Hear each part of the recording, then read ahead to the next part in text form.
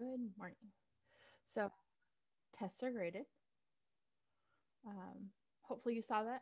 If you didn't, uh, I would highly suggest going and checking your notifications for your Canvas app um, to make sure you have lots of them turned on so you find out when teachers post things. Um, if you want to go over your test one on one, I would be more than happy to do that with you. We can do it during office hours or you can schedule a time during office hours. Obviously, there might be more than one person in there. So, what we can do is um, if I have a group of people in my Zoom office hours, I can do a breakout room with just you and me.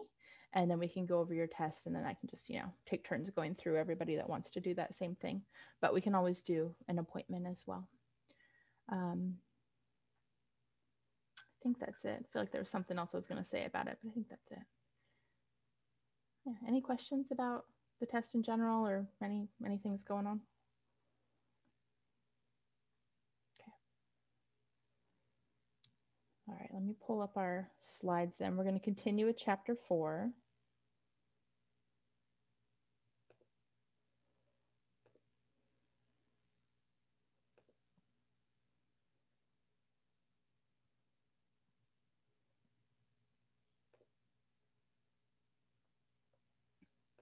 Oh, somebody asked in the the just me chat um, my side effects for the vaccine. So I had my first vaccine shot on Monday afternoon, Monday evening, and that night I was just exhausted. Like I think I couldn't keep my eyes open by nine o'clock. And then all day yesterday, I was really nauseous and woke up with a headache. Um, so I just kind of kept eating all day, like little snacks and meals all day. Um, I was able to work all day, so it didn't affect me terribly, but it was just kind of annoying. But by the time like that 24 hour mark hit, 24 hours from the vaccine, I was fine. And I feel completely fine today. Although when I lift my arm above my head, it still hurts where I actually got the shot. So eh. not not enough to like prevent me from doing it, but I can feel where it happened. Okay. Chapter four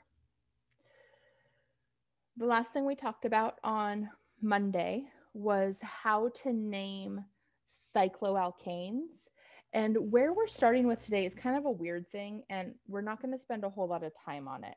Um, it's not something I would I'll actually have you do on a test. I just need you to know that it exists. And there's a couple words on here that we do need to talk about. Um, these, the rings that are on this slide are called bicyclic. So bi, two, cyclic ring. So it's two rings. Um, I like that little graphic up there. It's telling you that it's the same thing. So it's essentially looking down at that bicyclic or looking at it from the side. So this carbon and this carbon are the same thing. Um, this is how you name it. Again, I'm not even going to go over it. It's not important for our test. It's not something that really comes up ever. It, when you need it in the future, if you do, you'll relearn it then, to be honest. Um, one word, though, that we need to talk about are the bridgehead carbons. The bridgehead carbons are the connecting ones. So let me do this in a different color here those are the bridgehead carbons. All the ones I'm going to circle in green. So it's the ones that kind of connect the two sides, the two pieces. Um, those can be important just because it's a label, but other than that, bicyclics, there you go. Constitutional isomers. Now we talked about constitutional isomers um, in a couple of our chapters, and it's probably something you talked about in general chemistry.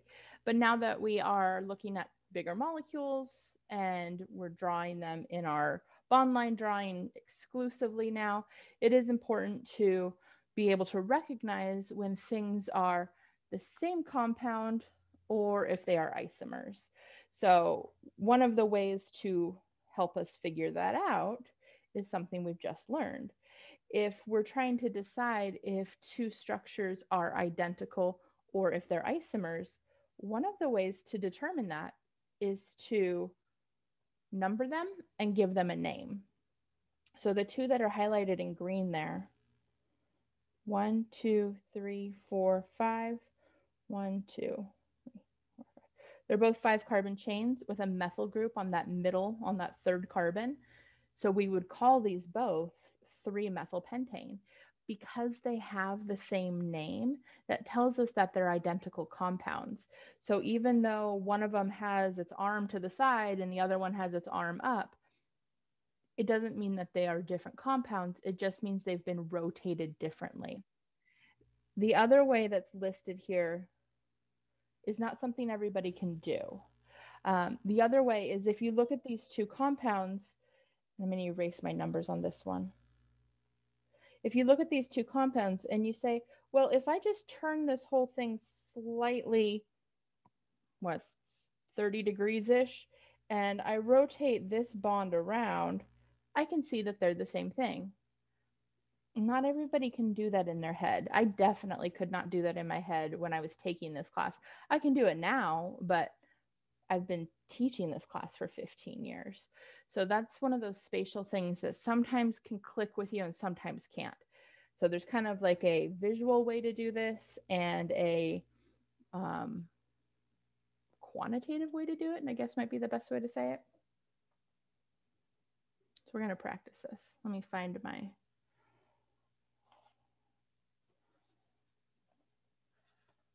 Oh, wait, do I have practice ones? Nope, I think I just left a blank slide in case we want, we're going to, but no. Here we go. This is what we wanted. Um, I also have a couple slides or a couple sections here on looking at different types of alkanes and stability and energy. So this is something we're going to actually talk about in a lot of our chapters. And we're looking at which molecule is more stable. And in chemistry, if something is more stable, that means that it's lower in energy. And we'll see this style of graph in a lot of our chapters. And really what it's looking at is if we take our molecule, so in this case, what is this? One, two, three, four, five, six, seven, eight, octane. If we take octane, burn it up with some oxygen, so we're doing a combustion reaction, it will produce CO2 and water. Okay. But what we're looking at here is how much energy is getting released when we burn that up. So we will do this type of analysis in a lot of our chapters as a way to show what type of molecule is more stable. And so what this graph shows us is that when we have just a straight chain versus when we have branched chains, when the, the one that has the most branching is burnt, it releases 5,452 kilojoules per mole compared to 5,470 kilojoules per mole. It releases less heat. So, what that tells us is that it was already at a lower energy to start with because the amount of heat it needed to release to get to the same point was less. So, you can think of it that it already had a little bit of a head start, it was already lower in energy. So, that's a little bit more background information just because it's the first time we're looking at this type of graph. But here's the takeaway from this slide. Branched alkanes are lower in energy, which means that they're more stable. So the more branching, the lower in energy the alkane is. Exactly. And so this graph is giving us evidence of that, but this is the takeaway from the graph. Any other questions on that?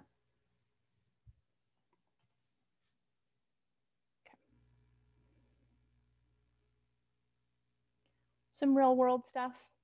So where we would find these alkanes out in the out in the real world, and it's a huge range of stuff. So small alkanes, so C1 through C4, meaning methane through butane. Um, if we think about just their names, methane, well, well, kind of ethane, but propane, butane, we think of these in terms of things that we're going to light on fire. Uh, propane is what you buy in a big tank to hook up to your um, your barbecue. Uh, butane lighters. So these are things that get burnt usually. There's some type of fuel. We get a little bit larger. We have solvents, gasoline, jet fuel, heating oil, diesel. So notice that a lot of these are things that are providing energy sources. And then as we get larger, so 20 carbons or more, we get to things that aren't as liquidy. So we have um, oils and grease, wax, asphalt, tar. So as they get larger, they're going to stick together better. They're going to have stronger London forces. And so they're going to be more in that, want to say tacky, but like more in that sticky category. So waxes and greases, things like that. All right.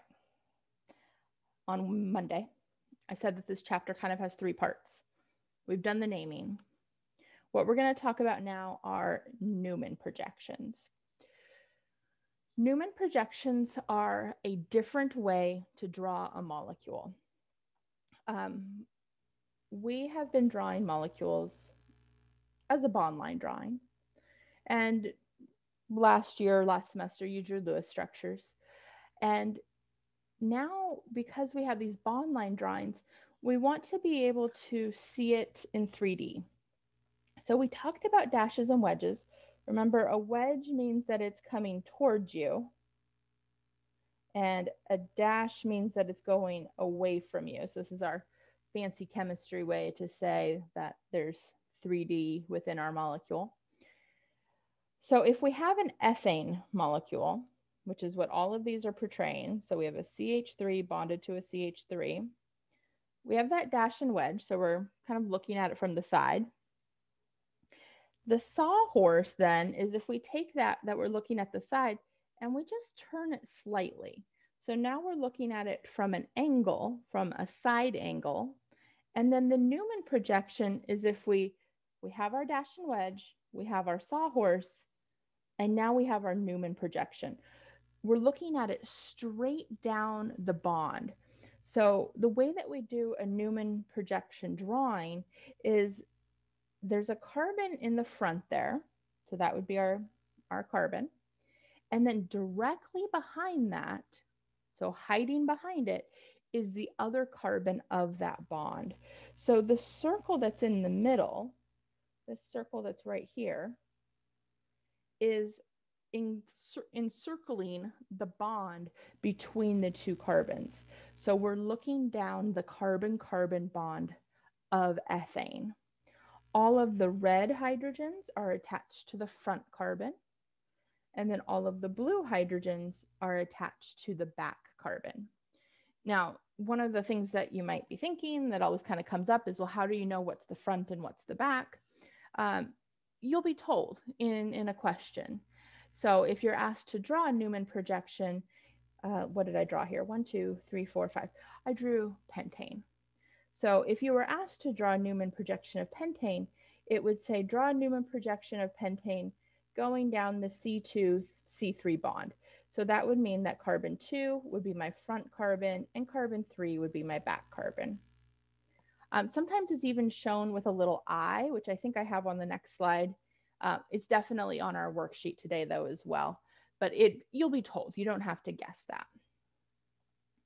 Okay, I know this doesn't quite make sense yet. We're gonna we're gonna practice it though. So we're gonna look at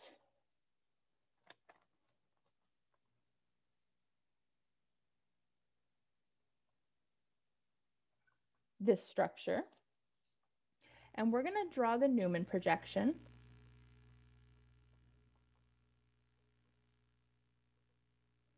And I'm going to do the little eye method. I'll show you what I mean. Here's, here's my little eye. And we're going to look down that bond. So meaning that my, my front carbon will be carbon number two, and my back carbon will be carbon number three. So I'm going to start just by drawing the general shape of a Newman projection. So what that means is there's my front carbon. My front carbon is always going to have three things attached to it. even if those things are hydrogens, we draw them in with a Newman projection. This is the one time we can't ignore the hydrogens. I'm going to draw a circle. So that's representing the separation between the front carbon and the back carbon. And then the bonds for the back carbon, I'm going to draw in between.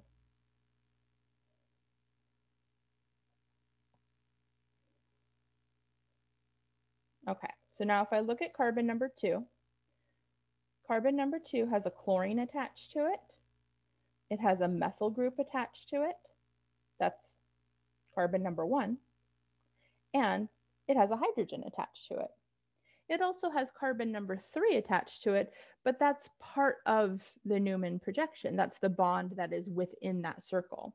So I'm just going to fill in my chlorine, my methyl, and my hydrogen. Carbon number three has an alcohol, a methyl, which is carbon number four, and a hydrogen attached to it. So I'm just going to fill those in.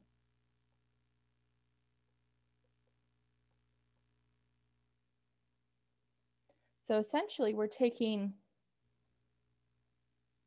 this structure, which we're looking at flat from the side, and we're turning it and looking at it directly down that bond.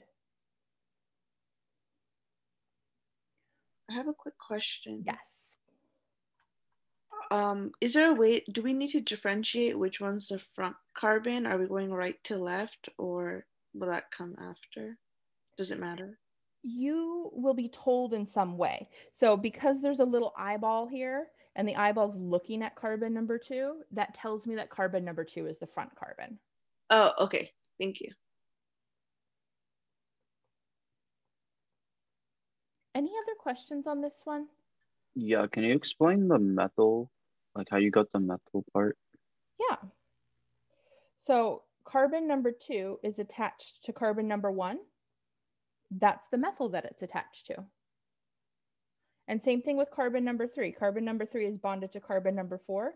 So that's the methyl that it's bonded to. So if we were to think of this as our butane chain, this is carbon number one. This is carbon number two. Carbon number three is directly behind carbon number two. And then that's carbon number four. So I've kind of made it in a weird U shape, the way I've put them on my Newman projection, but those are the four carbons within our butane chain. Okay, so question in the chat says, are we assuming the hydrogen on carbon two is dashed when looking at the bond line? Okay, so that is a really good question that we haven't quite gotten to yet. So the way that this structure was drawn, it was drawn with all lines. It doesn't have dashes and wedges. We are gonna do one with dashes and wedges next, and I'll show you the difference. But when it just has lines, we don't know if that chlorine and that alcohol group are dashes or wedges. It's not defined. It doesn't matter. And so where we put them on the Newman projection, it can, as long as it's on the correct carbon, it doesn't matter which side it goes on. So when we have all lines, the locations don't matter. Now, in all honesty, you're not going to see them this way very much because the question was asking about dashes and wedges, and Newman projections are a way for us to draw in 3D. So often we're taking something that has that 3D indication, the dashes and wedges, and converting it over to this Newman projection. So it's a good question. We're just, you're one step ahead of me. Any other questions on this one? Okay, let me see if I have, I do not. I'm gonna add in a blank slide because I don't want to erase all that. No, I want right here. Why won't you let me click right there? Insert, nope, home. Okay. Okay, we're gonna do the same thing with a slightly different structure. And I say slightly because it's almost the same thing. The difference now, though, is that I'm using dashes and wedges to show some 3D shape in this structure. So we're going to draw the Newman projection of this guy. using this 3D dash and wedge system. I'm going to, oh, let me give us a little eyeball to look at. We're going to go down the same bond, but there's my little eyeball. We're going to go right there. So we're going to go from carbon 2 to carbon 3. So carbon 2 will be my front carbon. Carbon 3 will be my back carbon. Again, I'm going to start just by drawing my, hmm, I was going to say I'm going to start by drawing my general shape, but I think I'm going to back off on that for a second. One, two, three, four. Okay, so carbon number two is my front carbon. It still has the same things attached to it. We have a methyl group, which is carbon number one. It has a hydrogen and it has that chlorine. Now, I'm going to draw my hydrogen into this structure because it can help us see everything when we want to see it in 3D. So if my chlorine is on a wedge, that means that my hydrogen has to be in the dashed position. So the hydrogen is kind of behind that chlorine. And then on carbon number three, we have the methyl group, which is carbon number four. We have the hydrogen and we have the alcohol. And again, I'm going to draw my hydrogen in. And if my alcohol is on a dash, that means my hydrogen has to be on a wedge. Now notice the way I drew my dashes and my wedges. Both of my wedges are on the left, both of my dashes are on the right. It actually doesn't matter if you do them on the left or the right, as long as they're the same. So meaning both wedges are on the same side and both dashes are on the same side. Because the idea is, is if we, so here's my my fingers, if I kind of tilt them this way, these are both on my pointer fingers are both on the same side and my thumbs are on the same side and my fingers are coming out towards you. But I could just turn this way and now they're on the other side, but they're still coming at you. So when we look at the dash and the wedge, we're not looking at it completely flat. We're looking at it at a slight angle. So whether your dashes are on the left or the right just depends on if you're looking at it from this angle or if you're looking at it from this angle. You'll see it presented both ways depending on what you're looking at. So as long as it's consistent, wedges together, dashes together, both are okay. Now, here's where it can get a little bit tricky. When we draw this, I like to make the minimal amount of changes possible. Because if you try and rotate it around or try and see it in a different way, the more movement you try and make, the more chances of error you're going to have. So when I turn this into a Newman projection, I want to take this structure and all I want to do is rotate it so that I'm looking directly down that carbon two and three bond. Now, when I do that, my chlorine that's a wedge that's coming out towards me, so coming out towards you, as it rotates around, I don't know if this is going to work with the camera. I'm trying to think if my camera's flipped or not. Um, as it rotates around, that chlorine is going to be on the right hand side. So I'm going to rotate this this way, rotating it to my right. And I'm going to draw my Newman projection slightly different because my carbon number two has a dash and a wedge that are pointing in the upward direction. And that line, the carbon number one line, is pointing down. So there's my carbon number two. When I fill in my pieces here, my chlorine is going to be on the right because I've taken this entire structure and rotated it to the right. And so my wedges that were coming out towards me have also rotated that direction. Here's my methyl, and there's my hydrogen.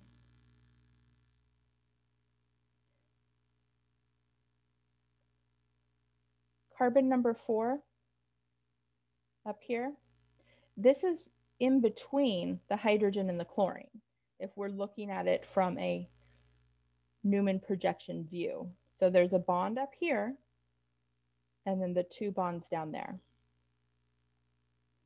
The one at the top is that methyl group. And then as I rotate it around, what's going to be right here? What's going to be on the right hand side of carbon number three? Will it be the hydrogen or the alcohol? Hydrogen. Good.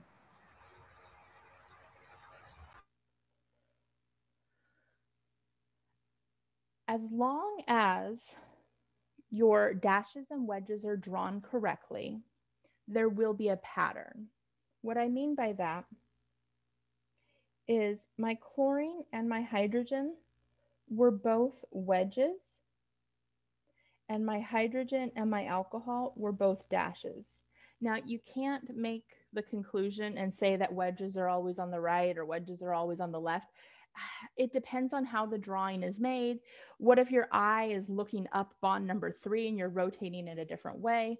So you can't make that general statement that it's always this or always that. Those never work.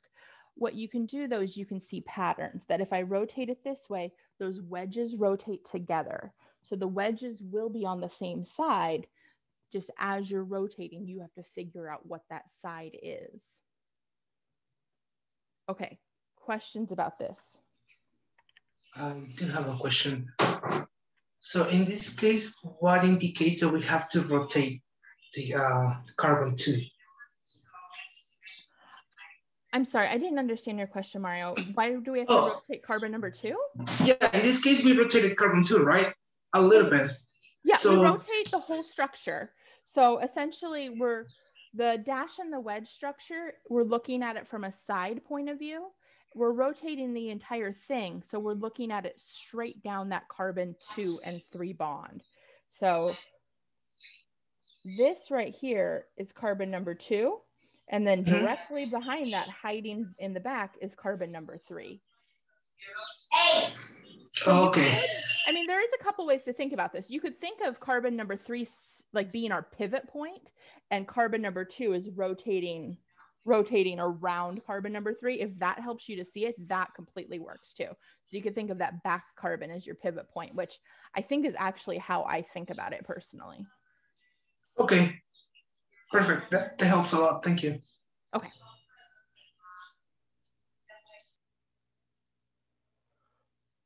Anything else on the dash and wedge Newman projection?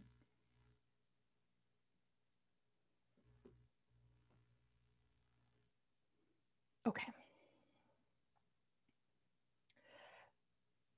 There's, of course, special language to go along with this. Um, we talked very briefly about steric strain in one of our chapters. So steric strain is just when there's stuff in the way, it causes some strain, it causes some higher energy. In this, we're looking at torsional strain. So torsional strain is when groups are close together because of the angle. We know that single bonds have free rotation. So we drew our Newman projections like like all of these where those atoms, those groups are as far away from each other as possible. But notice this one right here, all of those hydrogens are much closer together because this bond in that ethane molecule has free rotation. So it can rotate around and those hydrogens can move. So these each have, oh, sorry, my phone's trying to talk to me. It thinks I woke it up. No, go away. Okay. um, these have different names staggered and eclipsed. So I, I think these names make sense. Staggered is when all of the atoms are as far away from each other as possible, and it's going to be lower in energy. They're staggered, they're staggered around that circle. Eclipse, so if we think of an eclipse, something's going in front of something else, this is when those atoms are really close together. So we draw them a little bit separated, but that's because we don't want to draw them directly on top of each other just because it would make the drawing too messy. But this one is going to be a lot higher in energy because of that torsional strain. So up here, where that's coming from, that high in energy is because it has electron repulsion because those bonds are close together. Remember, the bonds are made of electrons. And then steric strain, just meaning there's stuff in the way. So those atoms are going to be repelling each other as well. This is emphasizing that energy difference. So this is still ethane. Um, if we look at this and follow the red hydrogens, so there's a hydrogen on the front carbon that's shown in red and a hydrogen on the back carbon that's shown in red. And as we go through a full rotation around that bond, we go from a eclipsed to a staggered position. Oh, two G's. Um, and this is telling us the energy difference. The book also talks about how to calculate what that energy difference is based off of what the groups are. We're not going to do that. The number itself is not important. We just need to know that when it's eclipsed, it's higher in energy. When it's staggered, it's lower in energy. These are ethane molecules. So all they have attached to them are hydrogens. Of course, we're going to look at things that are bigger. We always start small and work our way up. If it's something bigger than a hydrogen, bigger atoms or bigger substituents are going to make that energy gap even larger. So the bigger they are, the more strain there's going to be. So we're going to look at this with, okay, good. We're going to look at this with butane. So I've kind of the graph pushed up to the top here because we're going to look at this with a butane molecule and how it rotates around. So we did butane a little bit ago with some things attached to it. This time though, we're just doing pure butane. And again, we're going to look down that carbon 2 3 bond.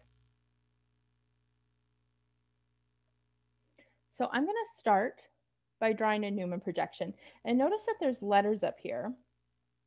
So we have A, B, C, D, E, F. So that means that we're going to end up drawing six Newman projections. So I'm just going to start with the first one. Oh, that let me let me make my lines a little bit cleaner. That was not a good start. Okay. Carbon number two. What is bonded to carbon number two, our front carbon of our Newman projection?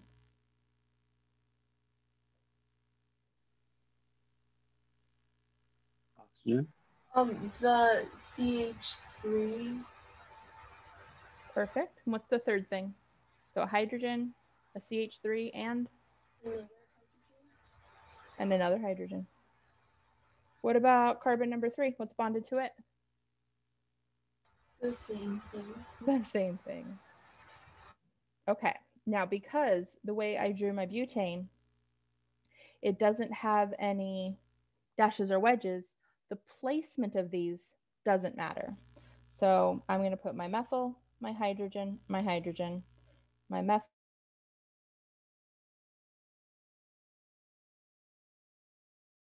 this is quite yet. We don't know if it's A through F. We're going to figure that out once we get them all drawn. But here's how we're going to draw the next Newman projection.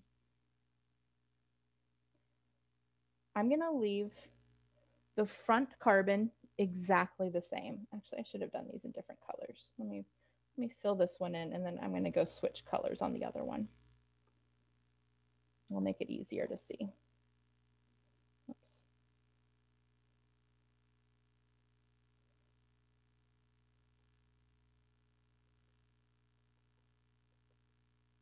Okay, so the back one's going to be in purple. Front one will be in, in orange. Okay, I'm going to leave the front one exactly where it's at. And what we're going to do is we're going to rotate the back one around. Now, again, doesn't actually matter which way you rotate. I just always like to do things the same way. If you stick to a pattern, you're less likely to make mistakes. We're going to be rotating this 30 degrees at a time. So it was in a staggered position over here. We're going to rotate it to the next position, which is eclipsed. So I'm going to draw it. Oh, that was a little too close. I was going to say I'm going to draw it right next to this bond. So I'm just drawing it right next to each of those other bonds.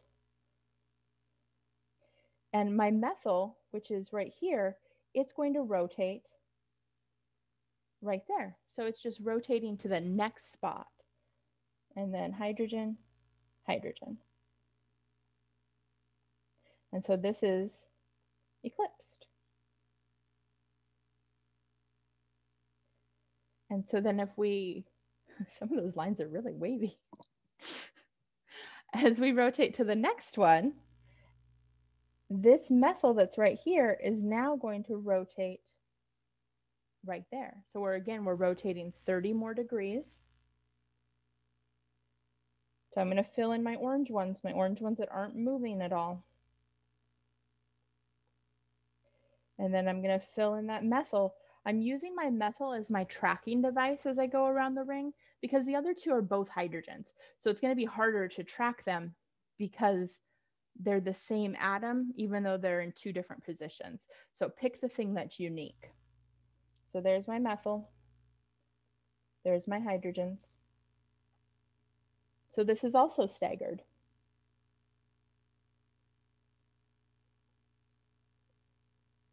Okay, next. There's my front carbon, looks exactly the same. So I'm going to take that methyl and rotate it one more position over. So it's going to go back to being eclipsed. So there's my eclipsed template. So I'm going to fill in my front carbon.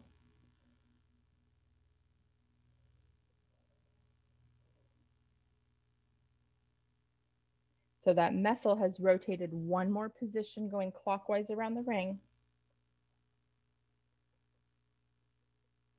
So this is also eclipsed. We still have two more. I'm not sure where I'm fitting these puppies in. We're one up here. So there's my front carbon. Nothing has changed with it. And then my methyl is going to rotate one more position around. So it's going to go right there. So we're back to being staggered. I'm going to fill in that front carbon.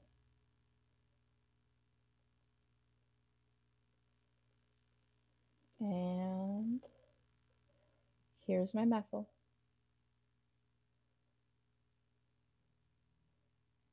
And then we have one more spot for it to go. I'm to go down here. So there's my front carbon, hasn't moved.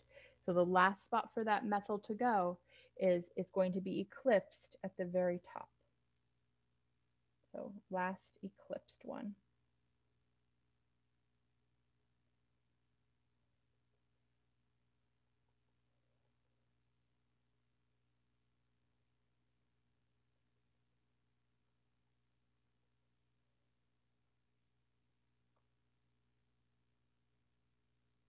Okay. We have six Newman projections. Questions about the drawings before we start labeling them, A through F. Wait, so to confirm, you always rotate it 30 degrees in between? If we're trying to draw every single Newman projection, then yes. Okay.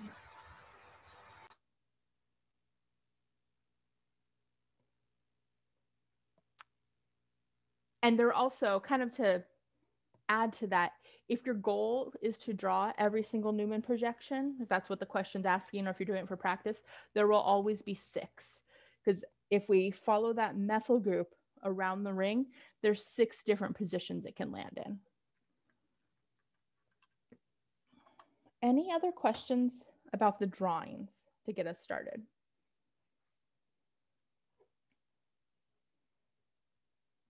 Okay. Now notice that in our drawings, three of them are staggered, three of them are eclipsed. On our graph, we have six letters A, B, C, D, E, and F. Three of those letters represent the staggered positions, and three are the eclipsed. Which three letters do you think are the staggered positions?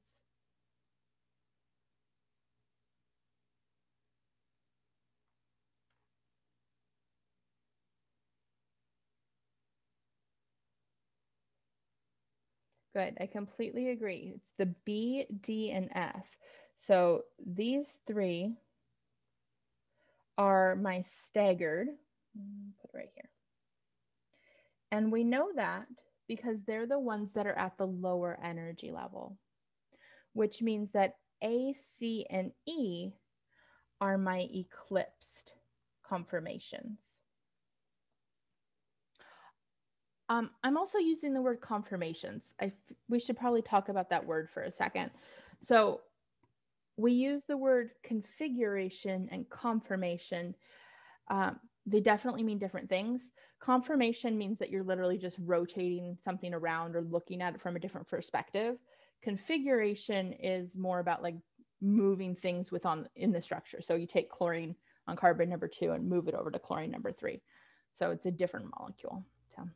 Not a big deal, but just in case that I don't think that word's come up yet.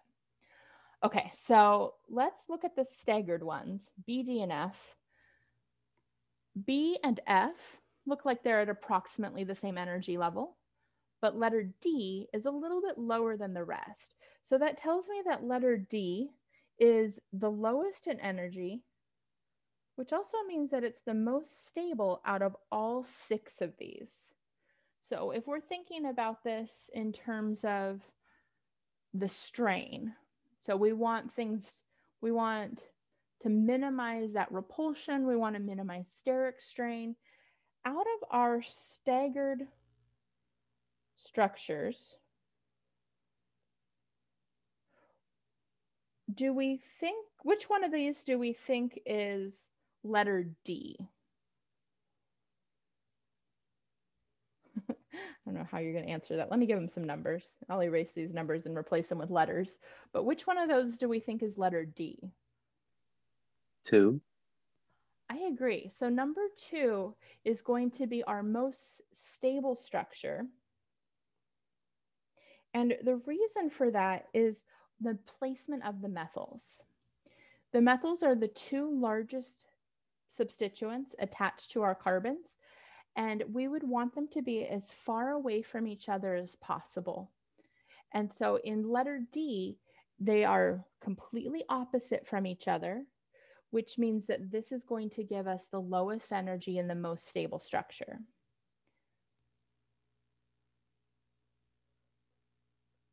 I'm labeling letter B and letter F, and really they're identical to each other. The methyls are still staggered, they're still separated, but they're close closer together. So letter B and letter F still fall into that staggered category, but they're slightly higher in energy because our bigger groups are closer to each other now. And I'm using the phrase bigger group because it can mean anything. It just depends on what's attached to the two carbons that our Newman projection is focused on. Sometimes the biggest group will be a methyl, sometimes the biggest group might be a benzene ring that's attached to it. It just depends on, it's all relative. It depends on what's attached. Wait, so you're so- saying that since like everything is opposite from each other, it's more stable instead of it being closer to each other? Exactly. The farther apart the bigger groups are, the more stable it's going to be. Okay, thank you. You're welcome. Um, I think I need to do the other one in a different color because I have covered this in colors. Okay, so let's do the eclipsed in red. So we have one, two, we have our three different eclipsed. And if we look at our three letters here, it looks like letter A is the highest in energy. So out of not just the eclipse, but out of everybody, this is the least stable or highest in energy. Those two things mean the same thing. And then letter C and letter E are approximately the same, or actually they're technically the same, but they they're at the same energy level level, same stability level. So out of the three that I have numbered, which one of those is going to be the least stable option or the highest energy option? Wait, does it just go in order? So it would be like number three.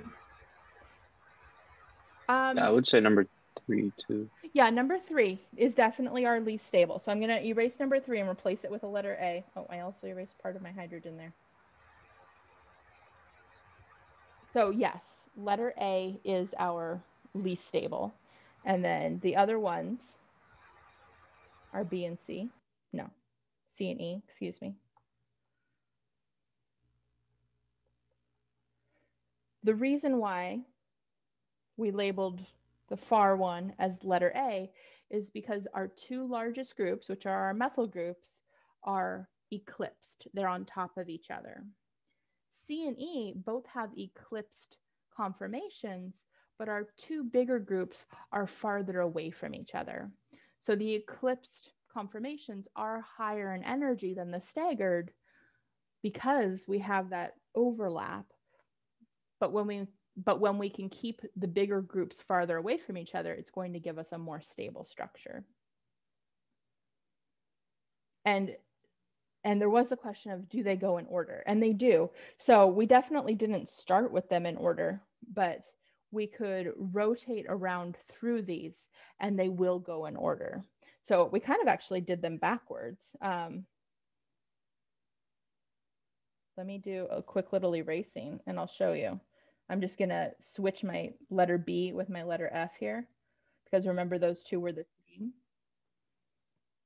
And so if we switch letter B with letter F, notice that starting all the way over here, as we go th back through, so going through this way, we go through A, B, C, D, E, and F. We go through all of those conformations in order. Questions about where the labels came from, where the structures came from, any of that?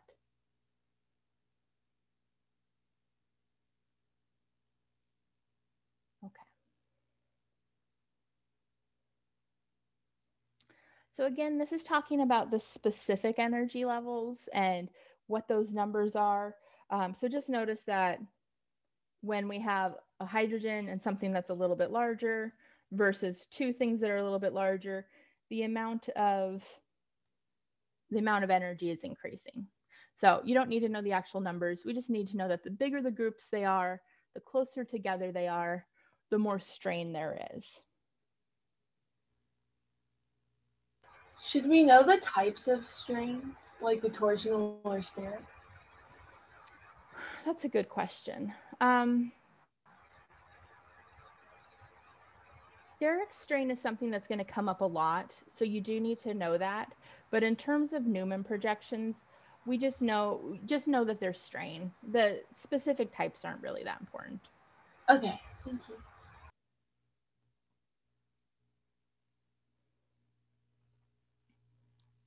Oh, do we have? Let's see. That was the end of Newman projections. Let me see if there was more I want to talk about because there is something else that we didn't talk about yet. Um, I'm going to add, oh, this, this slide is so busy, but I want to add a couple labels on here. I never use the black on my stylus. We'll use it today. Um, we labeled A and D as the most and least stable, but I'm going to add a couple actual more labels to this. And our labels for this, and let me see if I have them on. I don't think I do. Okay, so here's one word we need to know. Degenerate. So in chemistry, the word degenerate means that they're at the same energy level. So for example, letter C and letter E are degenerate. Um, but the ones that we singled out are the ones that we're going to give labels to.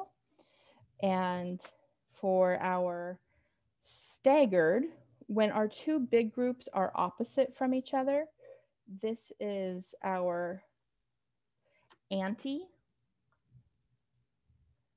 so we give it just a special label because of the fact that it is um, it is the lowest in energy. And then the other one that we give a special label to is when it's still staggered, but now the bigger groups are closer together. And so let's see, that would be letters C and E. And letter, I'm looking for my thing here, C. So these are called gauche. So G A U C H E. And they both get the same label because they are both staggered and at that lower energy level of our staggered. So I'll put these definitions in a better spot for you as well. And then the D is the lowest energy of everybody. Sorry, I know it's a horrible label on here, isn't it? So let me put them up here too. Um, this one is anti, letter D, and then letter F and B are gauche.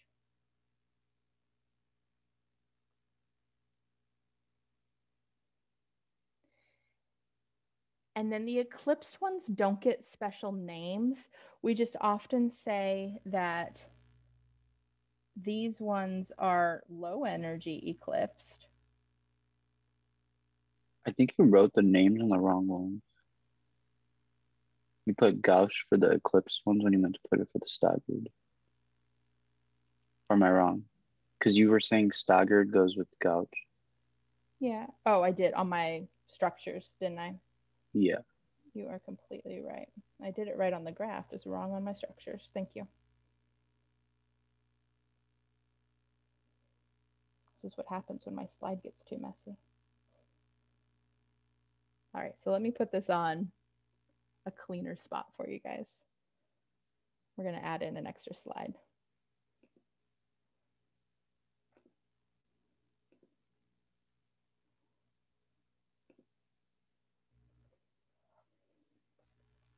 Okay.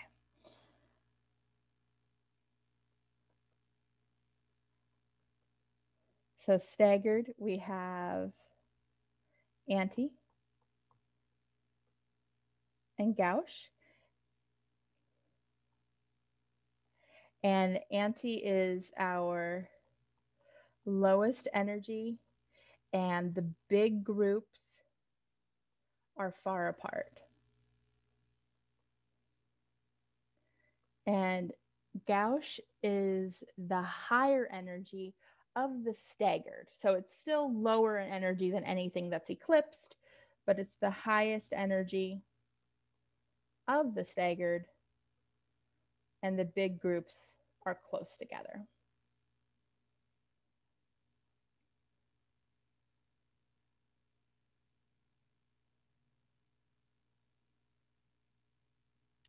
And then our other option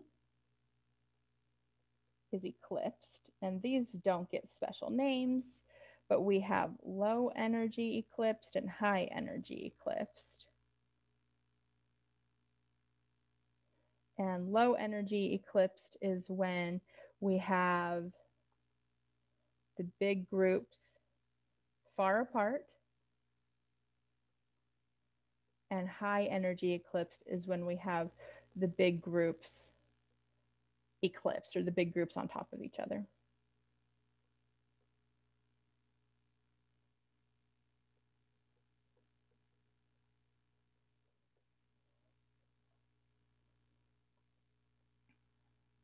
All right, that's much cleaner of a definition for you guys.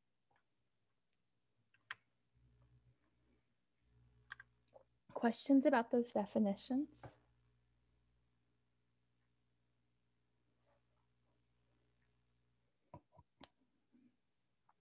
Okay. Let me look at my notes here, see if there's anything else. I forgot those. I think that's it. All right. Cycloalkanes.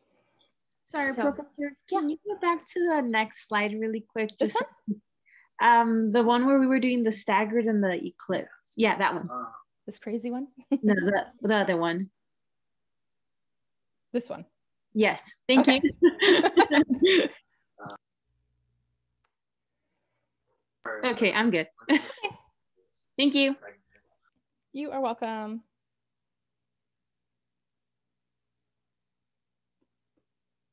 Mm, there we go. Okay, so we drew some of these shapes on Monday. We talked about naming cycloalkanes. One of the tricks that goes along with these is when we have all these carbons in this ring, in these geometric shapes, these are still all sp3 carbons. Remember, sp3 carbons have a tetrahedral shape, which has a bond angle of 109.5. But if you think back to geometry class or elementary school, I don't remember when we learned these things, but when you think back to the angles within these shapes, most of them don't match that 105 degree angle. So a lot of these shapes have what we call angle strain. Angle strain is forcing these orbitals into a shape that doesn't quite match the ideal bond angle. So they are being forced to be closer to other electrons and forced into some electron repulsion. Some of them are obviously worse than others. These three are kind of in order of worst to getting better. Um, this top sentence, though, is really important. It says most cycloalkanes aren't flat. So when we draw geometric shapes, we, we draw them flat. This is how we learn how to draw them.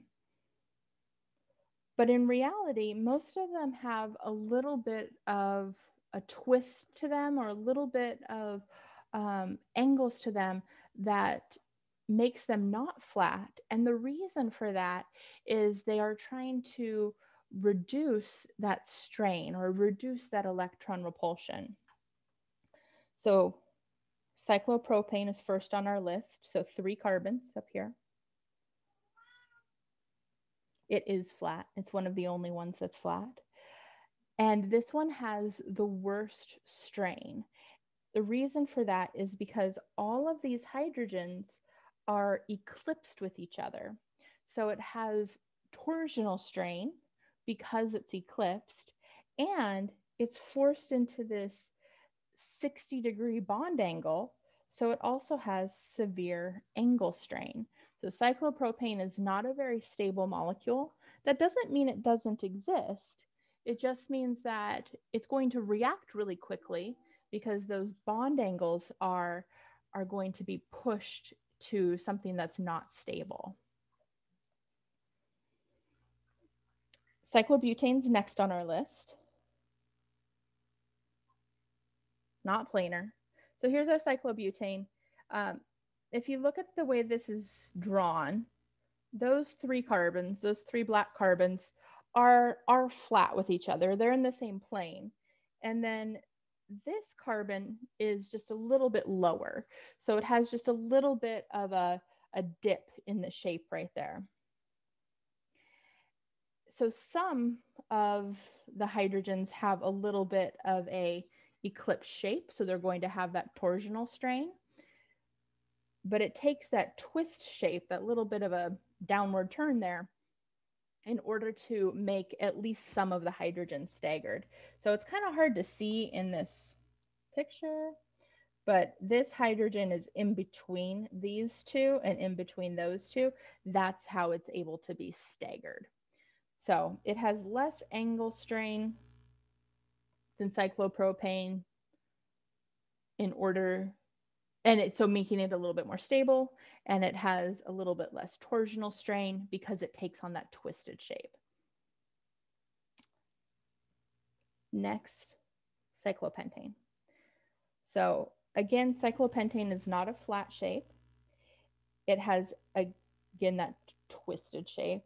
Um, so this one, we can kind of almost see that like those three carbons are in the same plane. And then the other two are a little bit twisted. I know it's really hard to see in this. I'll try and find a video to, because also I would totally bring in big molecule kits and show this to you guys, but I don't know how that would be helpful now because it's still on a screen. but I'll try and find a good 3D video that might help you guys see this as well. Um, but because of the twist, again, we have less angle strain because it's a bigger shape. We have less torsional strain because we have more staggered, more staggered bonds. And so it is going to be the most stable out of these three. Cyclopropane is fairly stable. We see it quite a bit as we look at reactions and, and molecules in nature. But this does take us to the one that we talk about the most.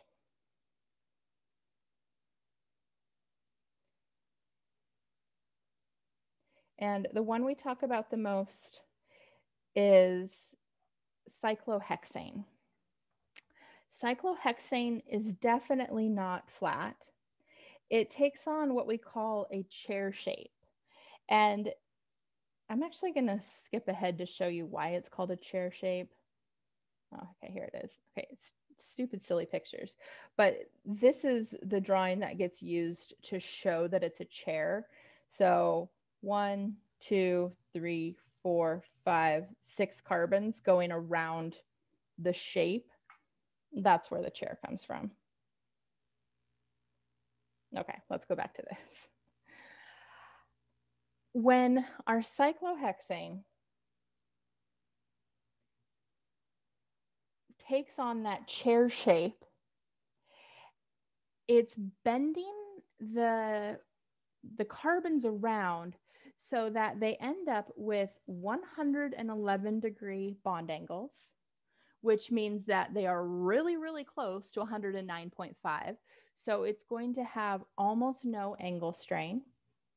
And all of the hydrogens are staggered. So it's going to have no torsional strain either. I'm gonna grab my molecule kit. I'm gonna build this as we're talking.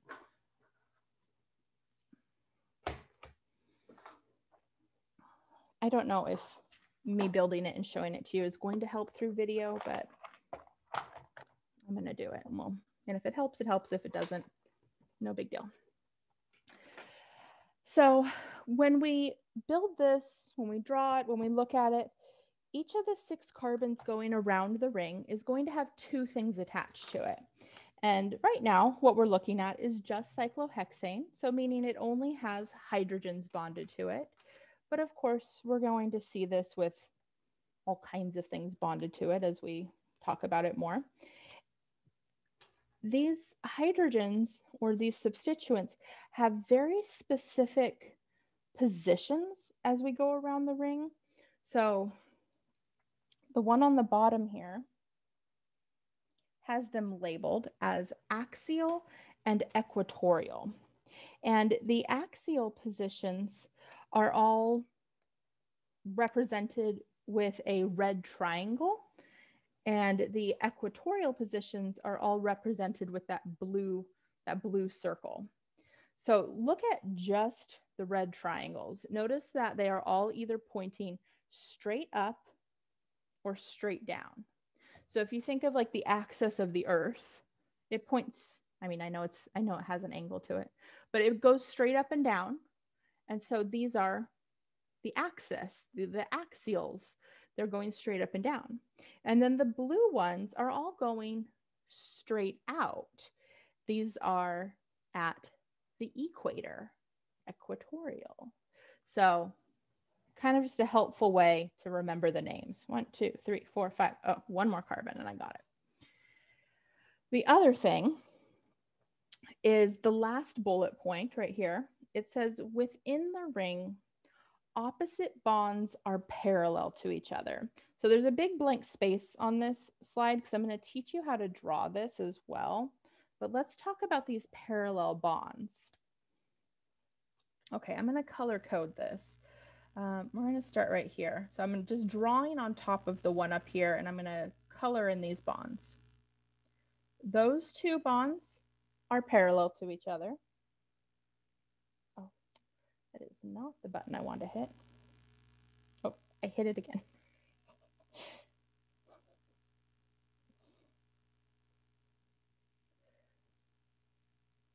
Those two bonds are parallel to each other.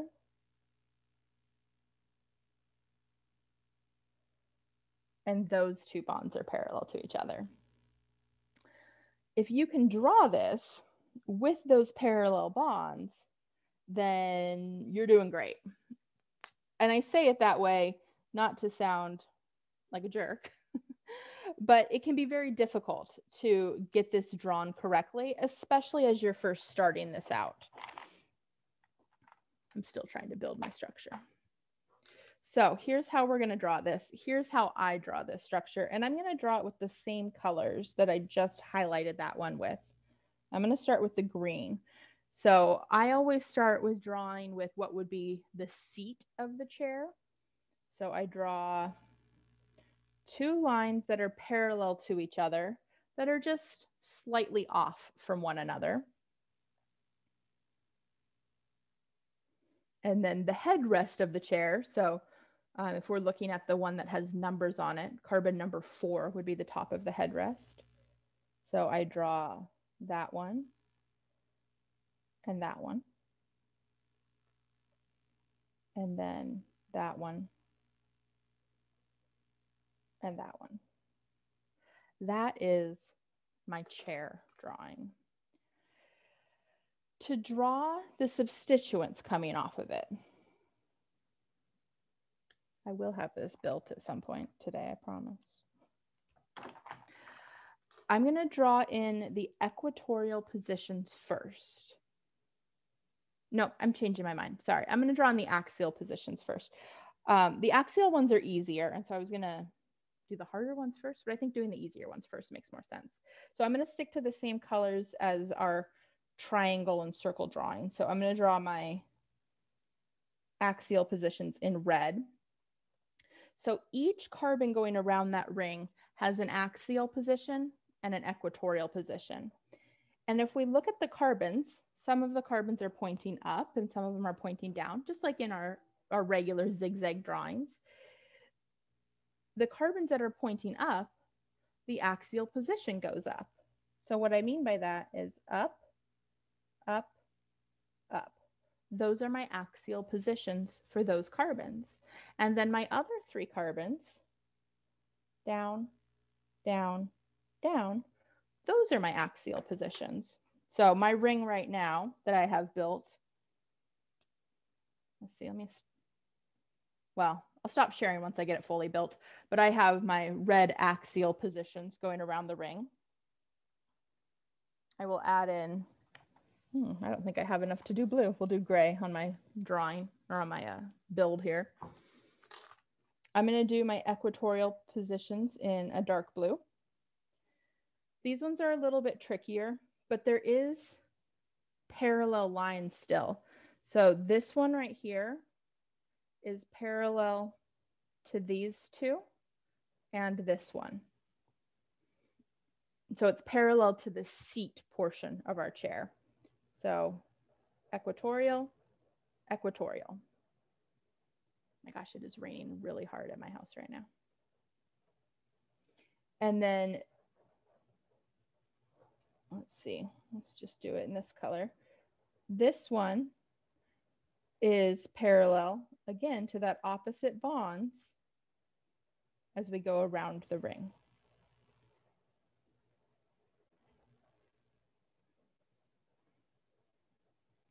And then the two that are coming off of the middle are right there. This takes practice to draw.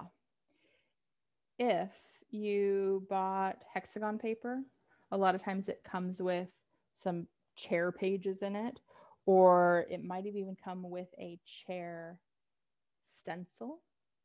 Um, you can buy just stencils that have the chairs on them. They're nice and handy. If you bought that, you're more than welcome to use it on the test. I will not judge your chair drawings on the test. The only thing that you could lose points for for your drawing on an exam is with your equatorial and axial positions. Ooh. Lightning and thunder too. Hopefully I don't lose power. Oh my gosh, that's so loud. Yes, you can use the model kits on the test too. Sorry, I'm mesmerized by the huge thunderstorm outside my window. If you draw a bond angle that's like right there, so it's like in between an axial and equatorial position, then I don't know what you're trying to show me. So that could lose you some points. Um, one way around that though is if your if your angles are just aren't good and you have one that's kind of weird, but then you draw one that's going up, I can see that one is axial and one's equatorial just with a bad angle. Okay, I'm gonna stop sharing my screen for a sec. I'm gonna make my own Okay, so I'm going to show you my my my build here. So this is my chair. The red pieces are all in the axial positions. The gray ones are in that equatorial positions. So I'm going to turn it on its side. And as we turn it on the side, you can see the gray ones going away from the ring all the way around. I need like background color to put behind this. I'm not the best background. Um, and then the red ones are coming out towards you or coming away from you. And so as we turn it on its side, the red ones are pointing straight up and down. Okay, I'm gonna hold on to this. We're gonna use it again. Hopefully it's helping. Let me go back to my screen here.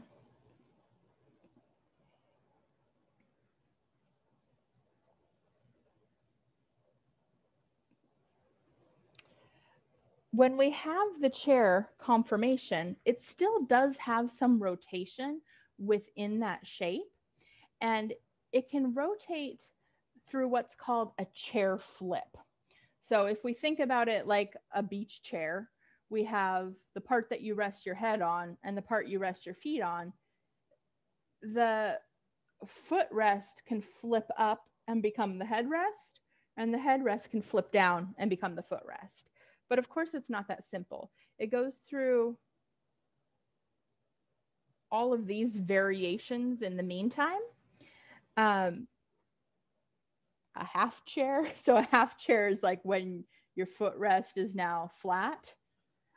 A boat. So the boat's the only other common one that you need to know. This is also a boat up here. Okay, I'm gonna stop sharing for a second so I can show you my boat.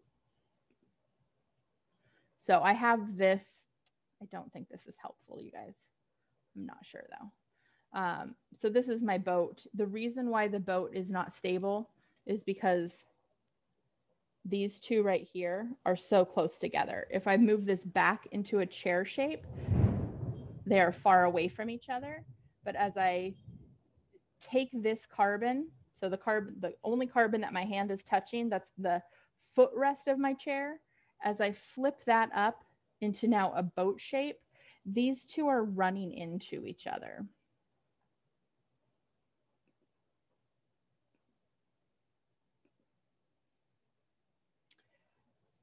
So this is called a flagpole interaction. It's like the flagpoles on the ends of a boat. Um, but it it causes steric strain because they're literally running into each other. And then to get to the other chair, we take the other side, what was our headrest, and flip it back down. Now, oh, a little bit more tutorial on how to draw it. So feel free to go back to this slide, but there's nothing else to talk about on here. As we go through this chair flip, anything that was in an axial position becomes equatorial and vice versa. All right, let me go back to my original chair. So here's my chair. I have my red axial positions going around the ring, or I should say above and below the ring. I have my gray equatorial positions all the way around the edges of the ring. I'm going to put this through a chair flip. So where my hand is right now is the current footrest of my chair. And that's the headrest of my chair. So I'm going to take my footrest and flip it up. And I'm to take my headrest and flip it down. When I do this, I now have the gray substituents all pointing up and pointing down. Everything that was in the equatorial position has been rotated so that it is now in the axial positions. And everything that was axial, all those red, are now around the edges of the ring in that equatorial position. And again, I, I can't imagine that this is really that helpful in the way you're seeing it. I will find a video that shows the rotation for you guys.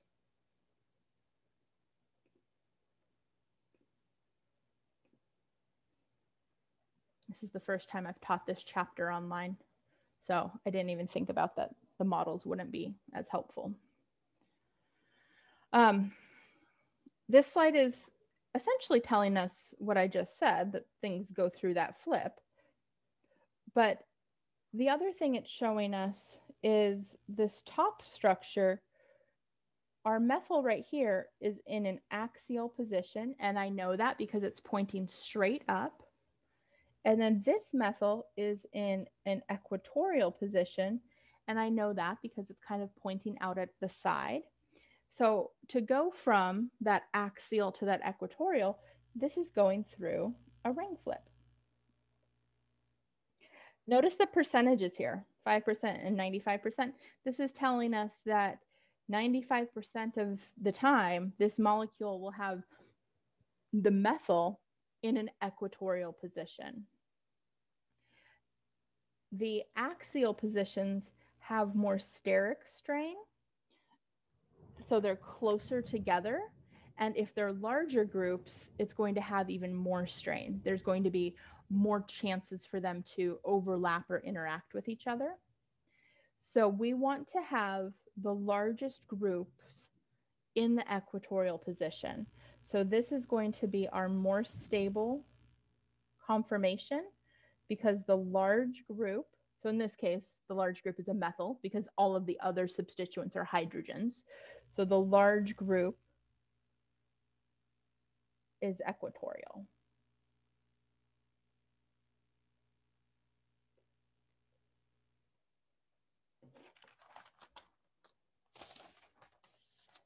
We're going to draw some of these. Oh, here, we're going to look at a couple examples and we'll do some drawings. Um, we can look at the same thing when we have more than one substituent attached to the ring. And so this is showing us a methyl and a chlorine attached to the ring, and it's showing it in dashed and wedged form. And our chlorine is in a wedge position. And so another way to think of that or another way to phrase it is to say that the chlorine is pointing up. So we have to kind of think of this as we're looking at this molecule. The wedge means that it's pointing up at us, and the dash, the methyl, means that it's pointing away from us or that it's pointing down from us. So as we take our flat dashed wedge hexane drawing and we switch it over to a chair drawing, we want to keep the same 3D shape. So in the first drawing, our chlorine is pointing up and it's axial. In the second, oh, sorry, started to say second drawing, but no. And our methyl is pointing down and it's also in an axial position. So we have represented the dash and the wedge by pointing them up and down. They're both axial though, because of the ups and the downs aren't dependent on axial or equatorial. If this goes through a chair flip, so meaning we've taken this carbon, pushed it down. We take that carbon and push it up. So this is going through a chair flip. Our chlorine is still pointing up. Our methyl is still pointing down, but now they are both equatorial. It can be hard to see the up and the down when we're looking at it from an equatorial perspective. I'm going to go back. Um, Go back to this drawing. I'm going to erase this, but I just want to use this as something to point out on. So I mentioned that the axials are always pointing straight up and down. So I feel like with the axials, it's really easy to see if we would label them as up or down. Up, up. Oh, sorry, I leaned on my keyboard. Up, down, down, down. The equatorials, because they're kind of out at the side, if you just look at the equatorial, it can be a little bit hard to see whether it's pointing up or down. But when you compare it to the axial, it makes a little bit more sense. And what I mean by that is this position right here, it's pointing to the side. But because the axial that's attached to the same carbon is pointing down, that means that this one has to be pointing up. And it is at a slight angle going up. It's just not as pronounced as the axial in the same position. Another way to see it or to remember it is as we go around the ring, it's every other one. So if I start at the one I just circled, then we go here. This equatorial is pointing down and then up and then down and then up and then down. Oh, and then up. We're back to the beginning. Okay, so hopefully that helps you see it a little bit. Let's go back to where we were. So this is asking which chair is more stable. Both of these are the exact same thing. This is almost like looking at the Newman projections. We're taking that same structure and we're rotating it around and we're saying, well, is it more stable to have the methyls here or the methyls here or the methyls here? This is essentially the same thing. And our answer to which one is more stable is this one. And the reason why this one is stable is because both of our large groups, so meaning everything except for the hydrogens, they're both equatorial.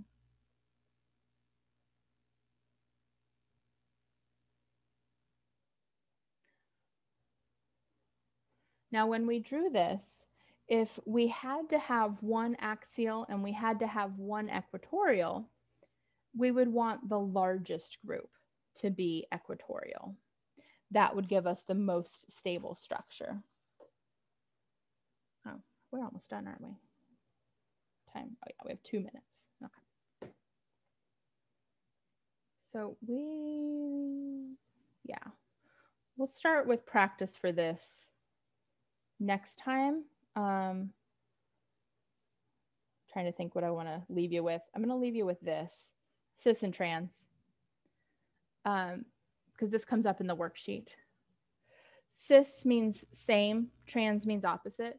So when we refer to this in a ring, if we have two substituents that are on the same side, so meaning they're both wedges or both dashes, then we can label it a cis. And if we have two substituents that are on opposite sides, so we have one that's a wedge and one that's a dash, we can label it as trans. You can only do this with two substituents. If you have three substituents and you say it's trans, well, they can't all be opposites from each other. There's only two sides to the ring. So it only works with di substituted rings. Okay, we are at time. We do have a worksheet today. So we will log off of lecture, log on to lab, and start our chapter four worksheet. hopefully my power won't go out in this weird thunderstorm. Okay, I will see you in lab in a few minutes. Thank you. Thank you. Thank you. Oh, professor, super, super fast. Uh, so on the slides where it says like 4.13, Yeah. Which one you said that it was going to be like the most stable?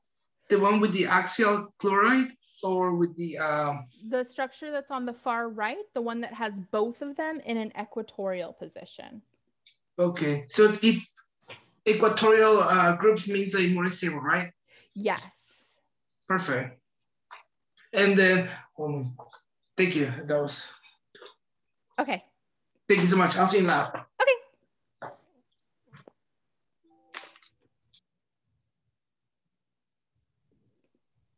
Hi, um, I just had a follow-up question about um, a question that came up in my SI, and I was hoping you could answer it. Of course. Um, so um, I gave them this problem. Um, if you, is it possible for me to share my screen? I can yeah. kind of. I think I need to turn it on, but I will let you for sure. Nice, thank you. Um, Oh, actually, let me stop recording first.